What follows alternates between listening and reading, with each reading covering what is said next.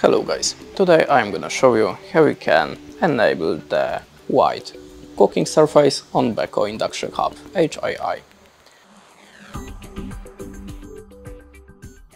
So in the first step turn on your device